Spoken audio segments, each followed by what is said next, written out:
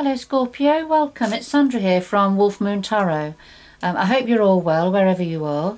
This is your reading for the 20th through to the 26th of June 2022 or thereabouts. It could resonate a little bit beyond that time.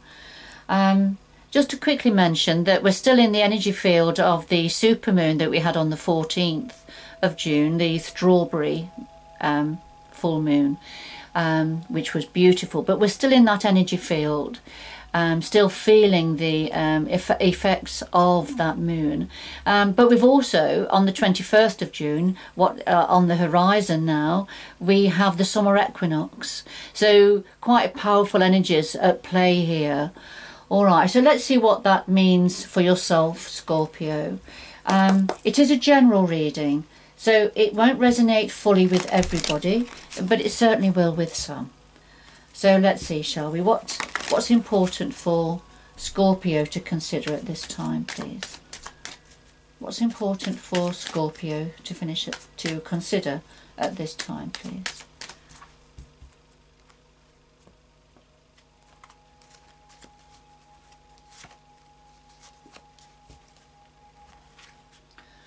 All right, Scorpio, we have number 22, um, and this talks about reflections um, looking back uh, in hindsight, uh, memories of somebody perhaps from the past or events from the past, um, perhaps thinking about decisions made in the past. Um, all right, so I'll just put that to one side. And here we have number 20. And this talks about belief, having faith, but having blind faith, a total trust in something. All right, so we'll see where those two energies fit in in a little while. But let's get into um, the heart of your reading now. All right, what do we have for Scorpio, please? What is important for Scorpio to consider at this time, please? What do we have for Scorpio?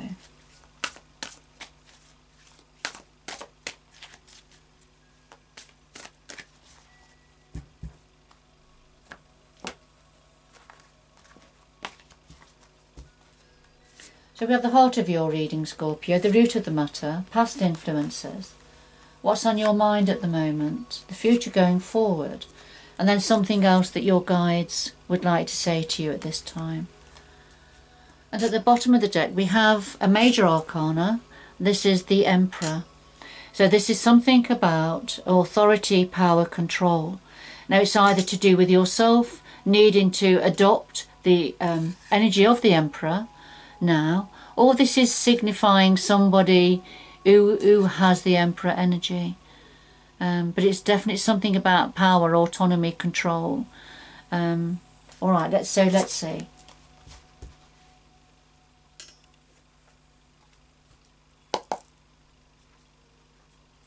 Could we clarify all of the cards on the table, please, for Scorpio? Clarify all of the cards on the table for Scorpio, please.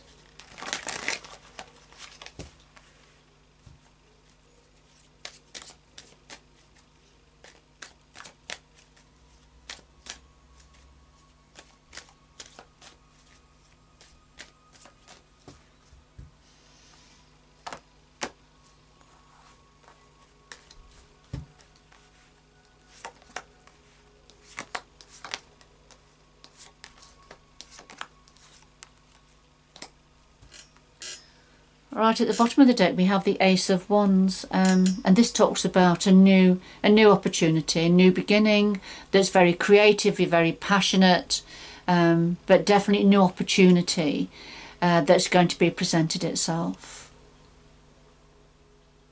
Alright, just put that to one side.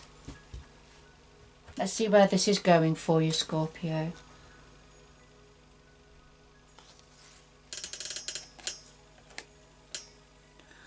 Right, at the heart of your reading, um, we have the Eight of Swords and Temperance.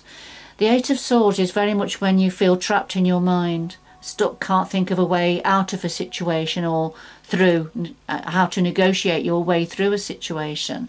That's that's quite difficult, but it, it, it's the message of the Eight of Swords is that there is there is a way forward, but you just got to take your blindfold off and see it. Um, but it's almost like a self entrapment, really, because it's a difficult thing to look at, whatever it is. All right. Um, and temperance, major arcana. And temperance is about um, balance, harmony, patience, having patience, um, healing. Um, temperance is a um, Sagittarius energy, the ruling planet being Jupiter, which is the, which is the planet of expansion and growth.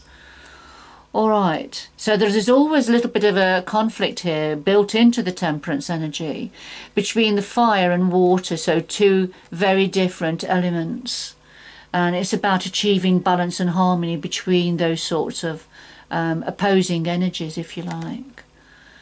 Um, so on the one hand, temperance is asking you to be patient and, and, and to wait, but Jupiter in the background is wanting uh, expansion um, and growth. Um, so it's just taking control of these energies, I feel.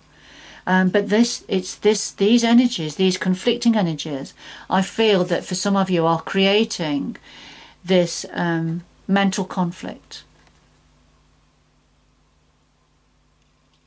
about how to go forward, which way to go forward. The root of this, we have the Empress and the Chariot.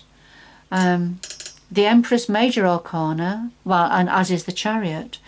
But the Empress is very much about growth, expansion, fertility, new beginnings, new opportunities, um, being comfortable in nature. Um, the Clarify being the Chariot. Now, in ordinary tarot, the Chariot is very much about uh, going forward quickly, taking control, taking the reins. But in this particular deck, th this this chariot is not going anywhere soon. We have blocks in front of the wheels. There's no horses. There's no uh, reins. And, and the person, the woman on the chariot is, is disinterested. She's looking to the side. She's distracted. Um, so I feel what at the root of this we have the potential for growth, expansion, which is what Jupiter is is bring trying to bring in. And we've got the Ace of Wands, haven't we? You've got Jupiter there in the background of the Ace of Wands also. So something very much about new opportunities for growth and expansion here. Um, however, something with distract something has been distracting you. Scorpio. It's almost like that you're waiting for something to come in before you take take the reins, take control. So there's this push-pull happening uh, around you and possibly within you, Scorpio. Now, the past influences, we have the Page of Pentacles and the Fool. The Fool is a major arcana. So we have a few major arcanas on the table at the moment. We have the Emperor, Temperance, the Empress, the Chariot, and now the Fool. So quite a significant message for some of you. Scorpio. The, the Page of Pentacles, this is, the pages are the uh, young messengers in the Minor Arcana, and they bring messages or information about some, some new opportunity, a new beginning. The Page of Pentacles, and Pentacles are about finances, money, work, career, practical matters. So the page here is seen fishing and he's caught a pentacle. So in the past, yourself or somebody connected to you has been fishing, trying to catch something new, trying to um, grasp a new opportunity um, that may be promising some form of growth and expansion. All right, yes, because the Fool is is the new beginning, the new new opportunities, new beginning, taking a leap of faith in a new direction. All right, and so the past influences are, you know, taking that leap of faith, uh, but searching, fishing for this new beginning, looking for something new, new opportunities.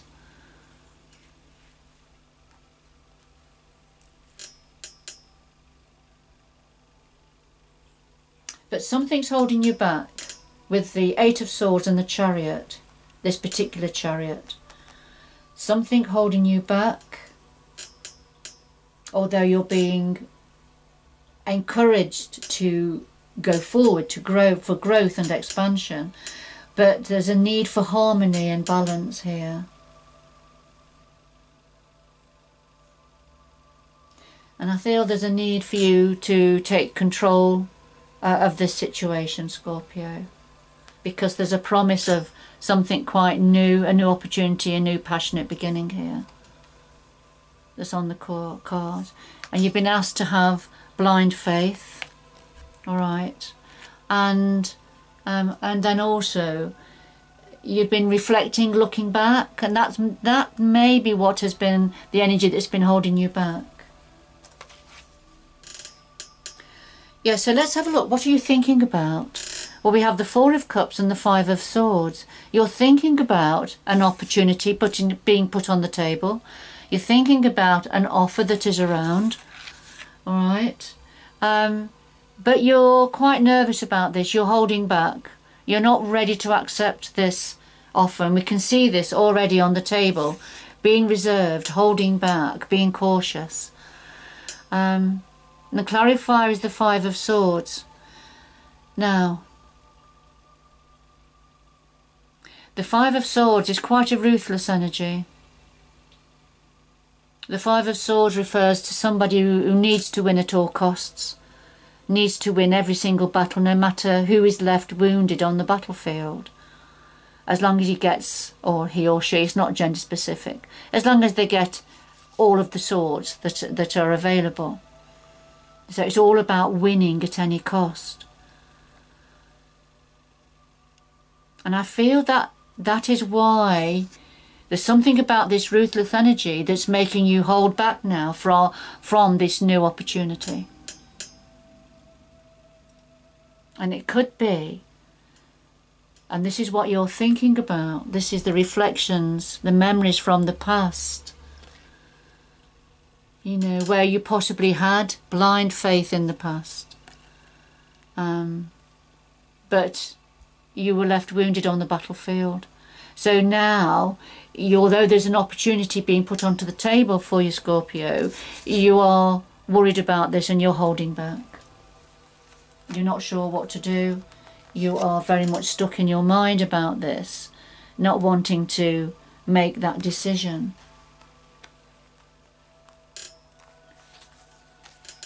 So going forward we have the Ten of Cups and the Hermit. Um, the Hermit is another major arcana.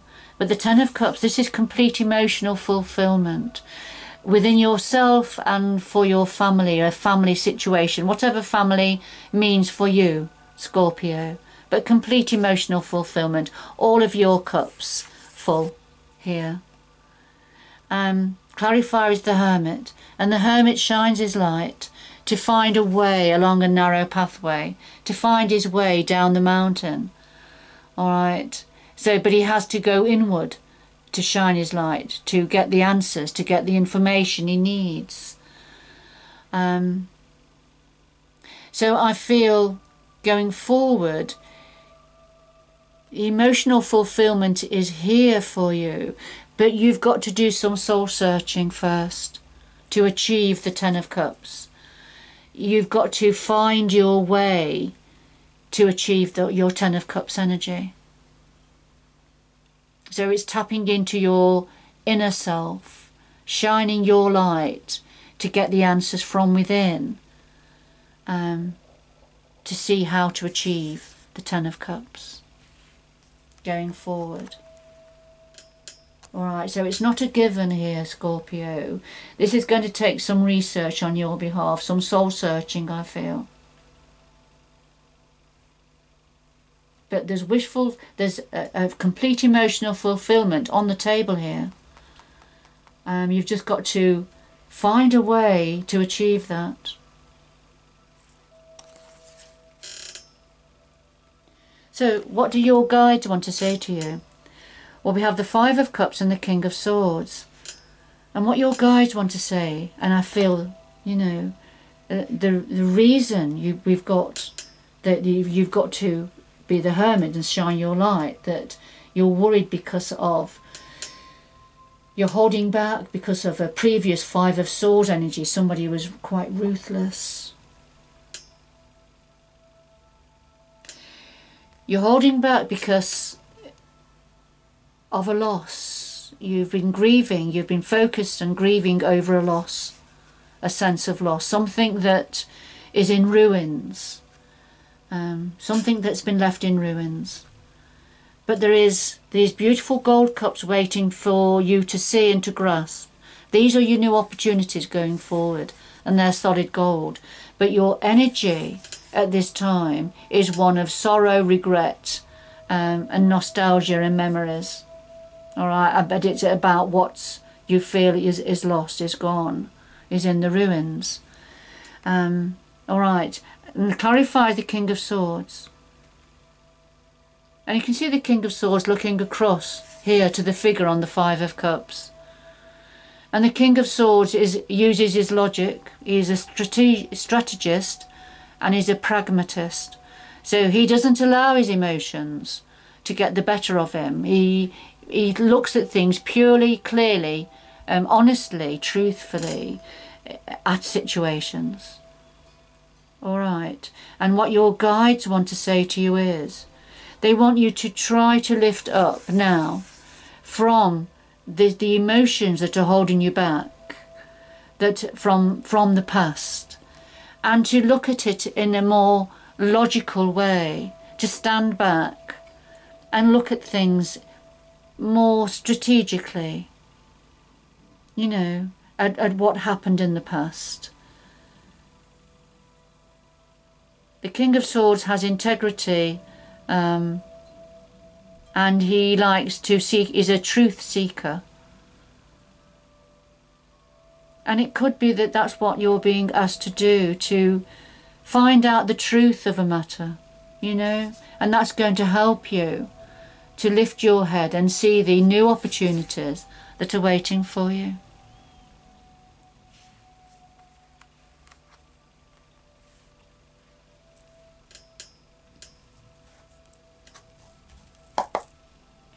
Right, we'll get two final messages for you now, Scorpio. Could we have two final messages for Scorpio, please, to conclude this reading? Two final messages for Scorpio.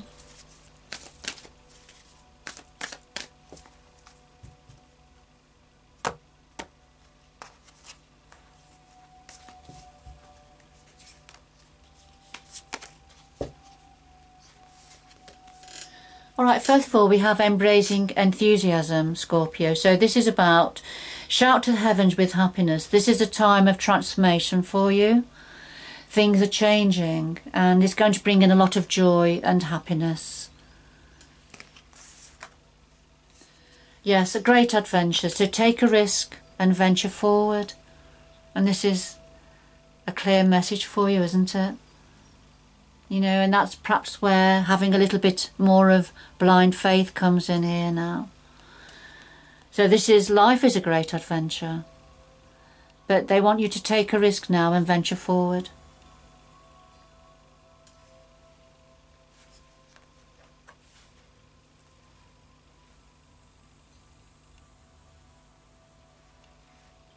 So to take control now, to take control, take the reins because there's a fantastic opportunity now being presented to you.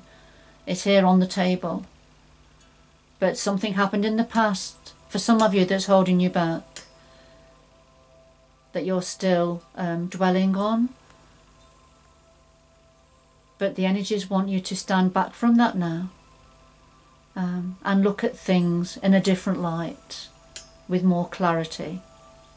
When the dark clouds are over us and it's raining, it's difficult to see the lights, to see things clearly. But life is a great adventure, so the reading wants you, whoever this is for, and it won't be for everybody. It is a general reading. But for somebody, uh, they're asking you to take a risk and venture forward now.